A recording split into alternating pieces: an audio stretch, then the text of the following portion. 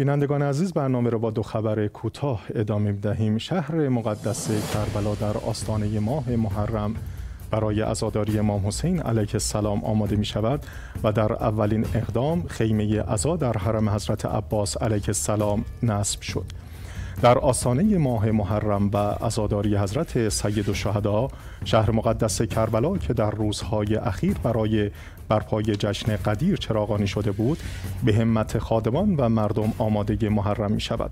در حرم حضرت عباس علیه السلام خیمه ازای محرم موسوم به خیمه فاضلیه نصب شد و حرم آن حضرت مهیای حضور زائران و ازاداران حسینی می شود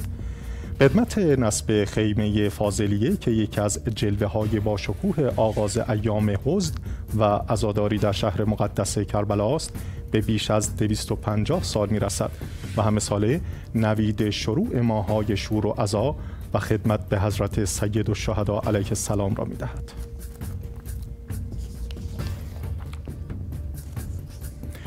مقام های مصری قصد دارند قوانین مربوط به مهاجران و پناهجویان را سخت گیرانه تر کنند و هر پناهجو یا طبعی خارجی را که به شکل غیرقانونی در این کشور اقامت دارد اخراج کنند. مقام های مصری پس از آنکه وزارت کشور مصر از همه اتباع خارجی مقیم این کشور خواسته بود از اول ژانویه 2024 اقدامات لازم برای اثبات اقامت خود را آغاز کنند تصمیم گرفتن هر پناهجو یا تبعی خارجی را که بر خلاف قوانین مصر در این کشور اقامت دارد اخراج کنند.